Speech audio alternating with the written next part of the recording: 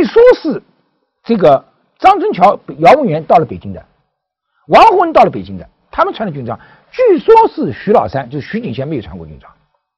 这是这是我们还是没有有这么一个印说法，有这么印象，我们还没有仔细的考证。所以一身军装的流行啊，是哪里流行呢？是北京红卫兵把一身军装的崇武的审美、崇尚武的审美带到上海来的，在上海传播的，在上海流动的，在上海流行的，但是并不像北京这样子那么广泛的、那么普遍的流行。流行，而且它主要在哪里呢？主要在一些革命造反派的骨干力量当中，他们要显示自己的身份，显示自己的身份。主要在哪里呢？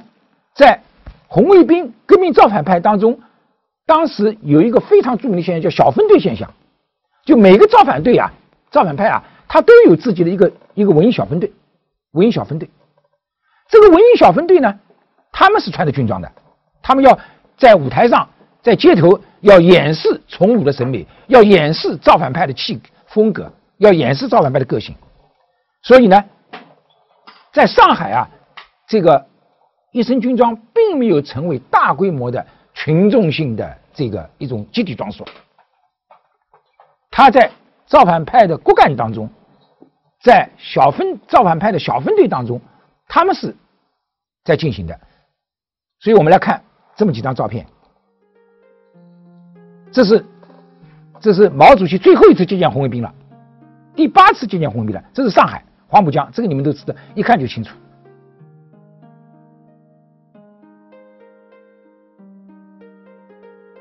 这个我们当然花了很多功夫，到处我们有多少好多照片了，对吧？关于这个上海文革有几百张照片了，对吧？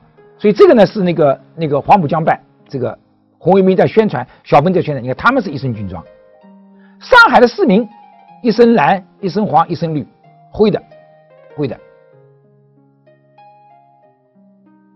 这个是文革初期上海马路上辩论的人群，在辩论。这个可能是一个旁边的饮食店的一个服务员，还穿了个白白衣服，戴帽子，戴帽子的一个白衣服。你看这个在辨认。端盘子的，端盘子的一个服务员。这个这个这个马路上的这个市民在辩论。你看上海的市民穿的什么衣服？夏天穿的背心。我跟你说，我看了一张王洪文的照片，王洪文当时已经工总司的司令了。六七年打掉连师，上台上打掉连师，第二天开一个大会，王洪就穿了一个背心上去了。坐在主席台，穿坐在那里，在在这里坐了一个，就是这么一个台子上，坐穿了个背心，就那个时候是就是这样的一个一个服饰。你们看，这是上海的文革起来了以后，上海马路上辩论的人群，他们的服装，他们的服装。这个照片呢，我们是做辩论用的，但是我今天把它拿下来，我让你们看服饰，看服装。这个什么？中之舞。这个是，不是粽子？刚刚开始，是南下的北京红卫兵。你看，他们一身军装，戴了项章，戴了帽子，北北京的大袖章，他们要传播毛泽东思想，然后到上海的弄堂里，看到吧？教女同学跳舞，教女同学跳舞。上海的女同学，你看那天六六年冬天，他们穿的两用衫，穿的花布棉袄，他们在跟北京红卫兵学跳舞，他们的服装，你看他们的服装。所以我们看这个，这个是什么呢？这个是刘德宝，是一个现在上海的是一个红色的收藏家，他向我提供了一张照片。当时，呃，我告诉大家，到北京去串联啊，是有这么一个故事的。所有的大学生，在校大学生，全部可以到北京串联，全部可以到北京串联。如果是你们六六年啊，你们所有的大学生啊，你们都可以，你们都可以。吃饭不要钱，住宿不要钱，乘车不要钱，全部到北京去见毛主席。高中生，高中生是五个里面选一个，班上投票，五个里面选一个。初中生十个里面选一个，十个里面选一个，免费到北京去串联，这是正规途径，正规途径。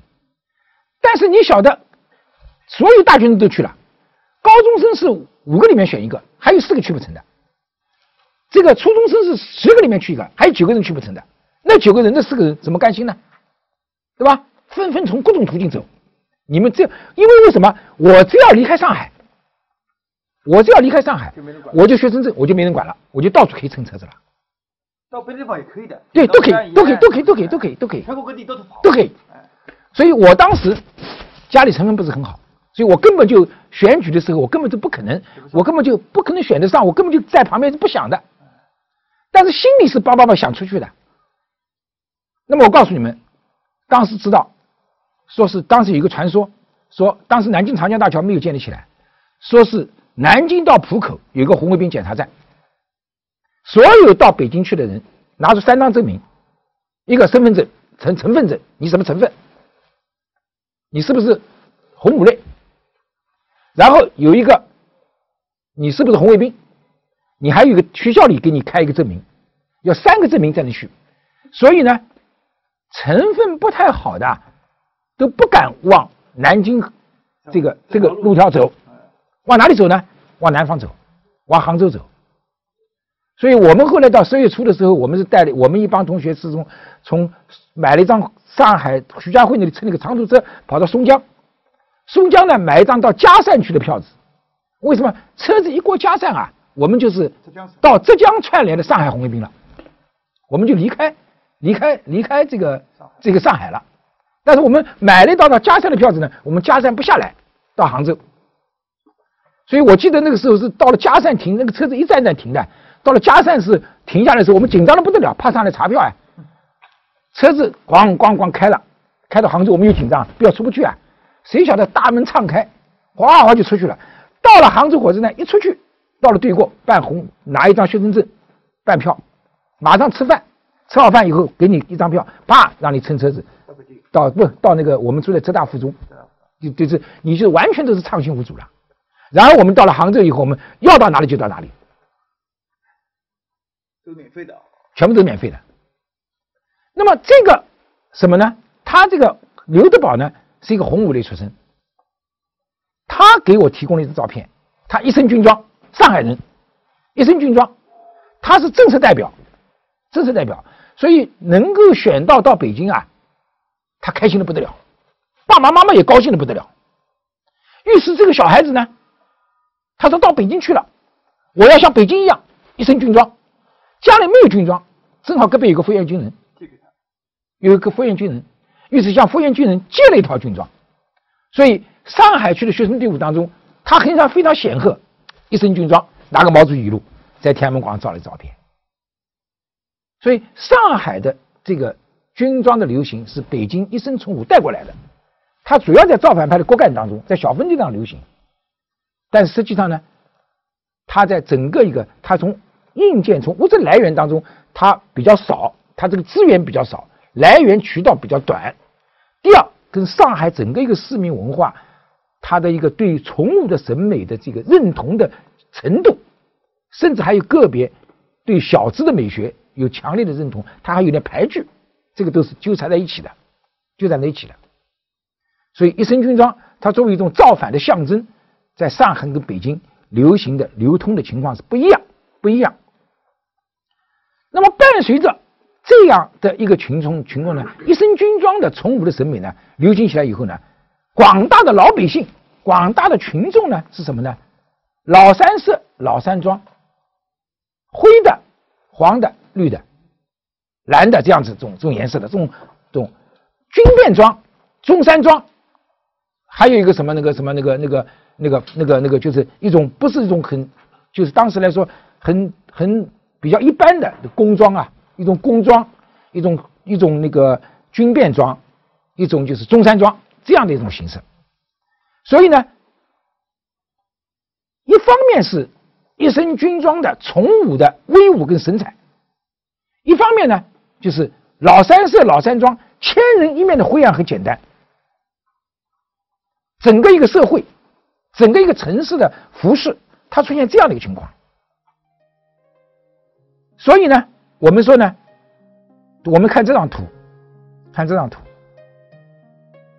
这是人民广场拍下来的，前面是解放军，红旗招展，红旗招展的队伍，前面解放军拿着毛主席语录，后面全是上海的群众。你看，解放军黄的红的，后面一大片一大片蓝的灰的。所以我们说，伴随着一身军装的整个一个市民的一个服装色彩，它是千人一面的，它是灰的、蓝的这样的军便装、工装，这个这个中山装这样的一个情况。所以这种匹配，我们说一身军装是针对资产阶级意识形态的批判，就是一身军装，它导致了这个这个，因为批判资产阶级嘛。就是所谓资产阶级的服饰，比较华贵的服饰、高雅服饰，全部压下去了，它造成了就是千人一面的普遍。这个千人的普遍呢，又迎合了无产阶级革命造反派呢，所以这里面呢，就是它形成一个形成了这样的一种，一面是一身军装，一面是千人一面，这样的一种一种一种一种一种状态，一种整个城市的一个服饰的状态。这是我们跟大家讲的。一开始讲的这个一个一个一个一个面相啊，一个面相。下面我们要看看这个社会的变化，看看社会的变化。我跟你说，这个六六年八月二十三号，我们做社会史史，所以有的那个有那个学者啊，那个打电话来问我，他说：“你这本书，你这本书。”为什么第一章是人口？第一章是人口，为什么你第一章不是破四旧？这个吴四打电话来，他说你应该一个第一章破四旧，因为破四旧八月二十三号红卫兵上街，把所有的卷发、这个长头发、这个这个这个那个那个那个比较时髦的裤子、皮鞋全部剪掉，全部剪掉。这个他说是文革是大规模的。进入了群众生活，就是破四旧。但是我可以告诉大家，这里面是这么处理的：破四旧是肯定要写的，因为我们编青年志的时候呢，我们写了一个破四旧的章节呢，送上去以后呢，他审的一个意见呢是过细，过细，所以暂时我们就把它搁置了，但是搁置了。那这个我们我们具体下次我们再讲。就是我要告诉大家，八月二十三号。全国从北京开始，社论发表以后，全国特别上海，南京路改成了反帝路，淮海路改成了反修路，嗯，就反帝反修。哎，为什么呢？因为南京路呢有五色惨案在那里，所以改成反帝路。对，反帝国主义。哎，反帝国主义。淮海路呢小资味道很足，所以改成反修路。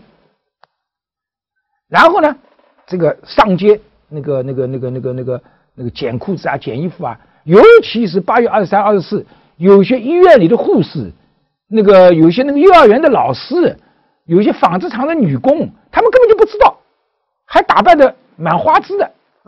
下班以来，哈，满街都是红卫兵，冲着头发剪掉，裤子剪掉，吃了个脚，拿了个皮鞋，吃了个脚，有的皮鞋都不拿了就丢，就逃回家，这样个情况。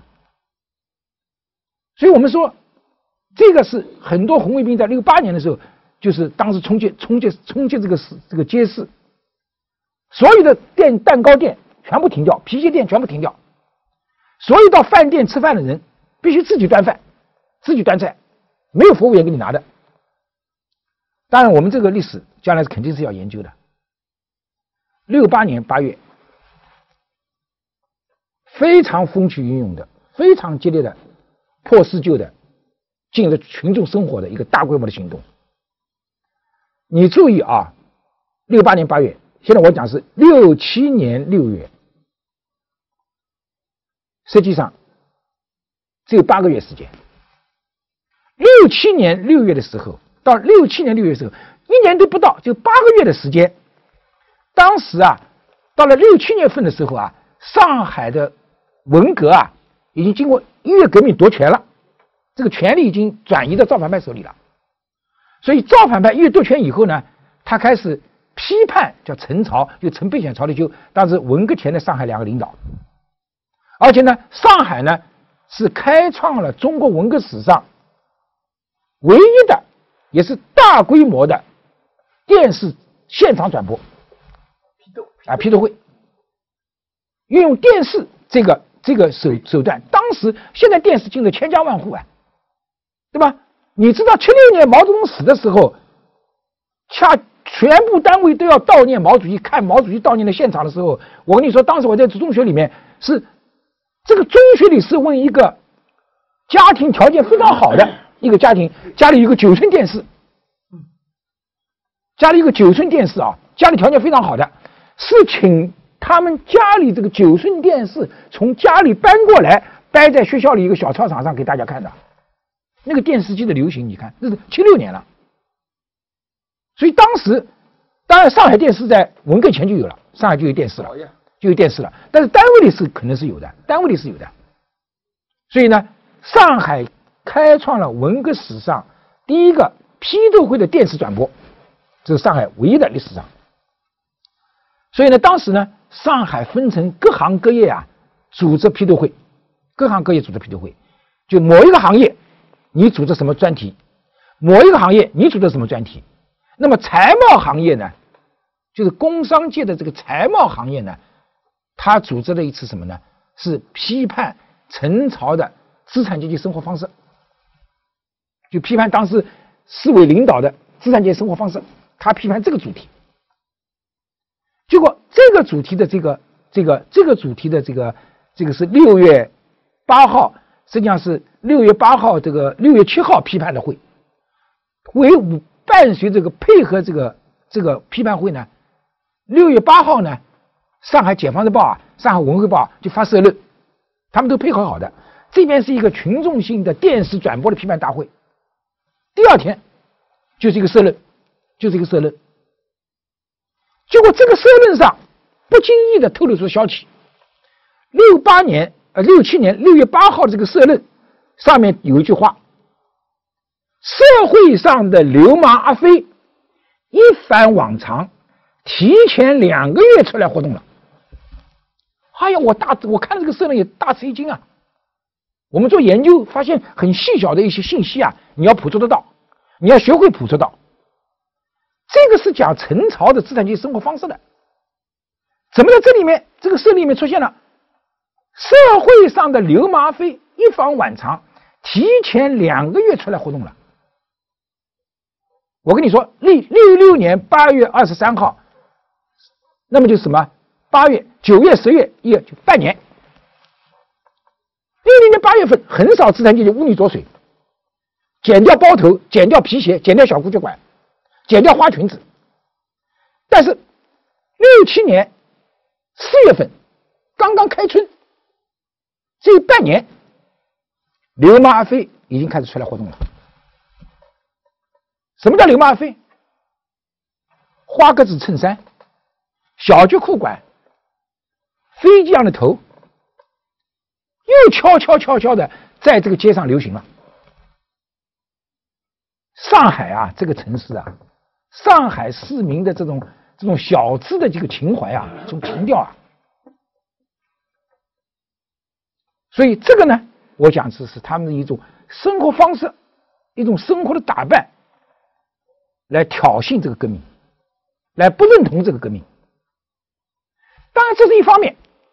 当同时，我们发现，在当时整个社会的时候，除了革命造反以外，社会的革命造反的群众队伍当中啊，分流出一种叫逍遥派。逍遥派，你们两派斗，你们两派打，我们什么都不管，我们只管自己，我们逍遥。所以叫逍遥派，逍遥派。所以那些流氓阿飞出来活动，穿着一种一种那种新的服装出来，实际上他有点挑衅这个革命，而这个逍遥派呢，他是躲避着革命，躲避着革命。这是什么？我们来看看。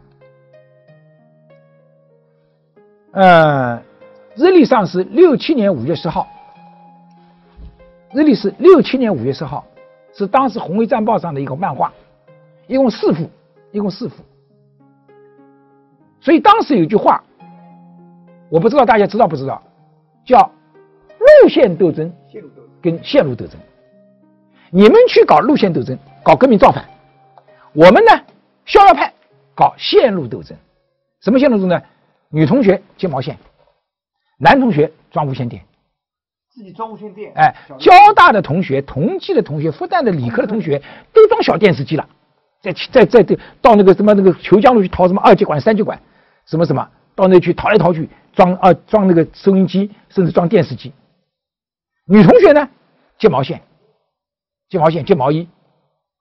有几个传说，说是这个海运学院。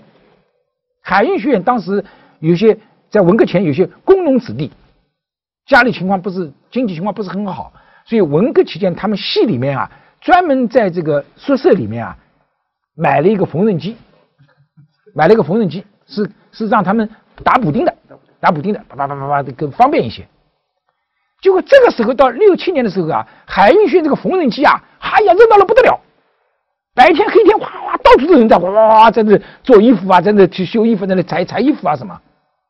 所以后来复旦在那里讲了，哦呦，海运学院你看多好，他们的宿舍里有缝纫机的。体育学院的学生在制造一种叫马桶包，你你有印象吧？